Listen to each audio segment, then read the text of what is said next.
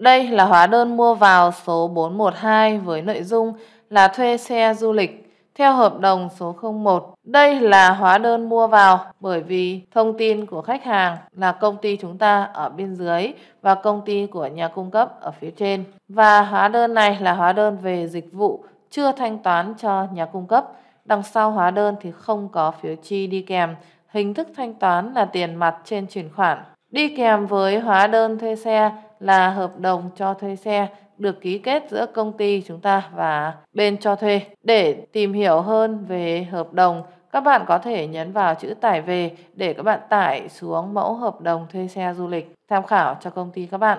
Căn cứ vào hóa đơn 412 này để chúng ta hạch toán, phản ánh ghi nhận vào chi phí. Theo như giáo trình ghi chú thì đây là chi phí tập hợp cho tour của hóa đơn bán ra 246. Tài khoản chi phí là 154 theo thông tư 133 hoặc 6277 theo thông tư 200. Và đây là hóa đơn về dịch vụ tập hợp thẳng vào chi phí. Tài khoản sử dụng là tài khoản 154 theo thông tư 133 hoặc 6277 theo thông tư 200. Tài khoản 1331 thuế giá trị gia tăng đầu vào được khấu trừ và tài khoản 331 phải trả cho người bán. Hóa đơn về dịch vụ chưa thanh toán cho nhà cung cấp làm tăng công nợ phải trả, tăng chi phí và tăng thuế.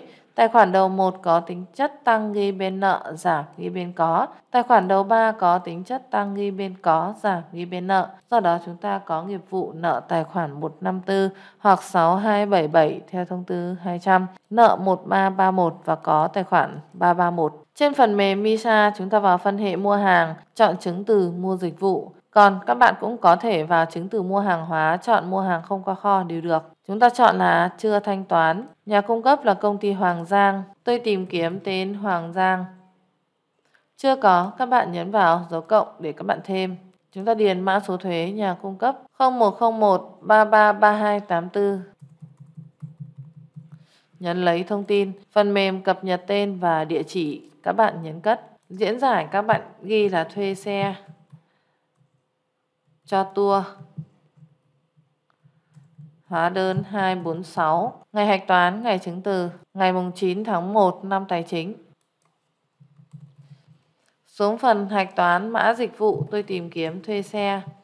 Nếu chưa có các bạn nhấn dấu cộng để các bạn thêm mã dịch vụ. Thuê xe. Tên là thuê xe du lịch. Tính chất chọn là dịch vụ. Tài khoản doanh thu chúng ta bỏ qua. Chi phí các bạn điền là 154 theo thông tư 133 hoặc 6277 theo thông tư 200.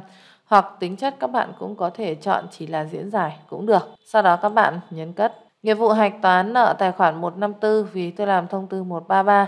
Bạn nào làm thông tư 200 thì sẽ là nợ 6277, nợ 1331 và có tài khoản 331. Số lượng đơn giá các bạn bỏ qua. Thành tiền là tiền chưa bao gồm thuế 14 triệu 850 nghìn. Sang phần thuế, chúng ta chọn phần trăm thuế giá trị gia tăng theo như ở trên hóa đơn. Trang cột hóa đơn, các bạn điền số hóa đơn vào, số 412.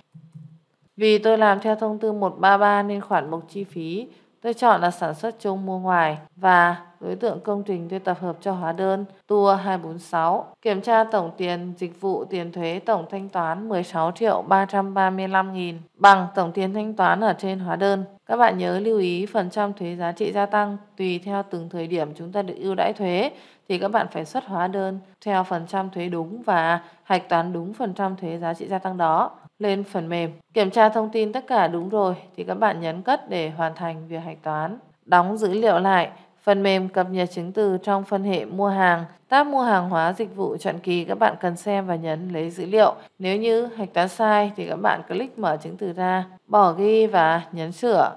Sửa thông tin đúng thì các bạn nhấn cất. Còn nếu như đã hạch toán rồi nhưng các bạn hạch toán thêm một lần nữa, tức là bị thừa, thì chúng ta nhấn bỏ ghi và xóa chứng từ thừa đi. Và đây là hóa đơn về dịch vụ thuê xe không liên quan đến chi phí mua hàng, nên các bạn không được tích vào là chi phí mua hàng. Như vậy, tôi vừa hướng dẫn cho các bạn hạch toán hóa đơn mua vào số 412 dịch vụ thuê xe trên phần mềm MISA.